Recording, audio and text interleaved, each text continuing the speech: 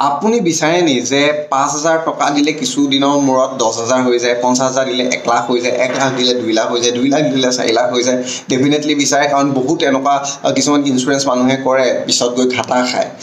ইমান দিনৰ পিছত ইমান দিন থয় লাষ্টত গৈ পেলাই যিটো দিছে তাতকৈ মূলতকৈ কম পায় হয়। কিন্তু এতিয়া পষ্ট অফিচে তেনেকুৱা এটা স্কিম উলিয়ালে নাম হ'ল পষ্ট অফিচ কিষাণ বিকাশ পত্ৰ। হয় তাৰ বিষয়ে বাতৰিটো দিম আৰু যদি ভিডিঅ'টো ভাল পায় চেনেলটো ছাবস্ক্ৰাইব কৰিব আৰু সম্পূৰ্ণৰূপে ভিডিঅ'টো চাব। চাওক মানে পষ্ট অফিচ কিষাণ বিকাশ পত্ৰ। সেই বস্তুটো কি জানে আপুনি মিনিমাম মিনিমাম নিম্নতম আপুনি এহেজাৰ টকাৰ পৰা যিমান মন যায় আপুনি থ'ব পাৰিব এহেজাৰ পাঁচ হাজাৰ দহ হাজাৰ পঞ্চাছ হাজাৰ থ'ব পাৰিব আৰু পষ্ট অফিচত থ'ব পাৰিব যিটো য'ত আপোনাৰ ছেভিং বেংক একাউণ্ট আছে। আপুনি এটা বেংক একাউণ্ট খুলিব মানে পাৰিব। বেংক একাউণ্ট খুলিবলৈ দহ টকা লাগে বুলি আপুনি নিউজত ইতিমধ্যে ওলালেই। পষ্ট অফিচত ওচৰৰ পষ্ট অফিচত যাব য'ত বেংক একাউণ্ট খুলিব পাৰি তাত খুলিব। আৰু তাত আপুনি আপুনি পে' অৰ্ডাৰ বা ডিমাণ্ড ড্ৰাফ্ট পষ্ট মাষ্টাৰৰ নামত ডিমাণ্ড ড্ৰাফ্ট বা আপুনি কেছ উইথড্ৰল কৰিও বা উইথড্ৰল ফৰ্মত চাইন কৰিও আপুনি তাত পইচা যেতিয়া জমা দিব মানে পত্ৰখন কিনিব। তাৰ পাছত ন বছৰ পাঁচ মাহমান হ'ব মুঠ এশ তেৰ মাহৰ পাছত আপুনি সেই পইচাটো বাই ডাবল পাব।